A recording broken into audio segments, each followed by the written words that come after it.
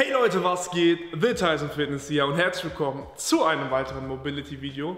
In diesem Video kümmern wir uns speziell um die Sprunggelenksmobilität, wie wir die verbessern können, um besser in die Kniebeuge zu können und eventuell mehr Gewicht zu beugen. Ja, wir machen das Ganze in zwei Schritten. Schritt Nummer eins wird es sein, die umliegende Muskulatur des Gelenks zu bearbeiten und Schritt Nummer zwei ist dann das Gelenk direkt selber. Warum machen wir das? Schritt Nummer eins Müsst euch vorstellen, es geht jetzt ums Sprunggelenk, das heißt, es ist das Gelenk hier. Ja, äh, sexy Wollsocken für euch heute extra angezogen. Ähm, die umliegende Muskulatur, das heißt Unterschenkelmuskulatur und die Fußmuskulatur. Das Problem mit den Füßen ist, wir belasten den Fuß eigentlich den ganzen Tag, täglich 24-7. Aber wer von euch hat schon mal seinen Fuß gedehnt, massiert etc.? Niemand. Das heißt, wenn die umliegende Muskulatur oder die umliegenden ähm, Gewebestrukturen, sage ich mal, einen höheren Muskeltonus haben, ein bisschen fest sind, nicht mehr wirklich gleiten können, ihr kennt das ja, Faszienverkleben etc., dann hat das Gelenk natürlich auch gewisse Einschränkungen. Das heißt, Schritt Nummer eins, umliegende Muskulatur bearbeiten, das heißt, ihr nehmt euch so einen Lacrosse-Ball, stellt euch einfach mit eurem Fuß da drauf, haltet euch irgendwo fest und massiert quasi, wie ihr es gewohnt seid, vom Oberschenkel, vom Arsch, von was weiß ich auch immer, ähm, einfach die Muskulatur mal aus. Macht das Ganze natürlich, ihr kennt das, zwei, drei Minuten pro Seite. Das heißt jetzt nicht einfach so kurz, es war nur Demonstrations, aus Demonstrationszwecken. Sucht euch die Punkte, versucht was zu lockern, auch an der Ferse. Und ähm, die zweite umliegende Muskulatur ist natürlich auf der anderen Seite des Gelenks. Da haben wir eine sehr steife Sehne, die auch so sein muss. Das ist die Achillessehne und natürlich die Wadenmuskulatur. Ich selber bearbeite meine Wadenmuskulatur nur sehr selten. Und deswegen schnappen wir uns einen Foam Roller. Ihr könnt natürlich auch den Lacrosse-Ball nehmen. Mir selber ist der zu hart. Oder eine Langhantel, wenn ihr eine habt. Mir ist die aber auch zu hart.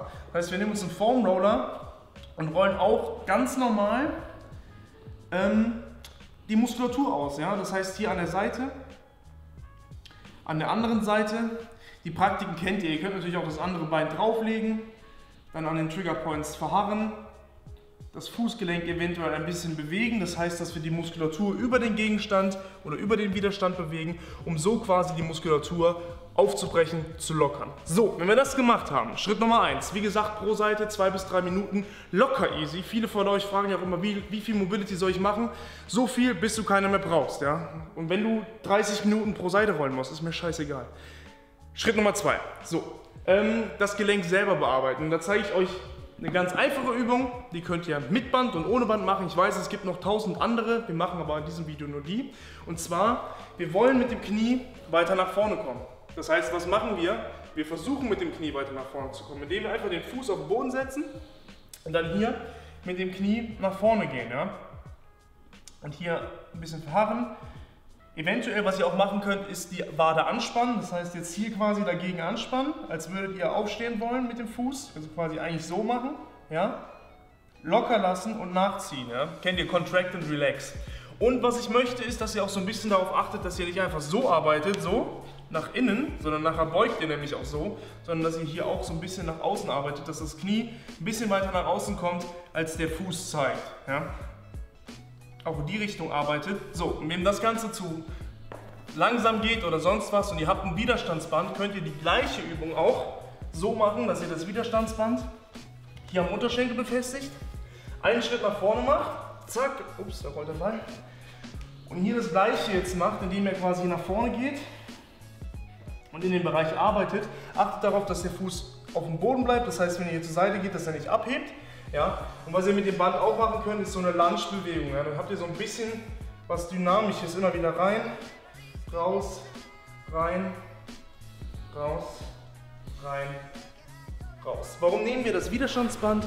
Das Widerstands, Widerspanns, Widerstandsband sorgt einfach nochmal dafür, dass quasi der, ähm, müsst ihr euch vorstellen, der Unterschenkel unten im Gelenk ein bisschen nach hinten gezogen wird, sodass wir vorne nochmal ein bisschen mehr Platz haben. Und that's it, meine Freunde. Ja? Das heißt, erster Schritt, umliegende Muskulatur lockern, das heißt Waden ausrollen, Fuß, äh, Fuß mal ausrollen, untenrum, vor allem die Ferse. Und ihr werdet merken, eure Füße werden es euch danken, das ist ein sehr geiles Gefühl. Ähm, und zweiter Schritt, Gelenk an sich bearbeiten, das heißt Gelenkkapsel und Mobilität nach vorne, in Anführungszeichen deswegen quasi einfach nur den. Ich hoffe, ich konnte euch mit dem Video weiterhelfen. Probiert es ruhig mal aus. Und äh, wenn ihr selber Fragen zur Mobility habt, schreibt es in die Kommentare, dann kann ich ein Video dazu machen. Wir sehen uns im nächsten Video. Bis dahin, macht's gut. Peace.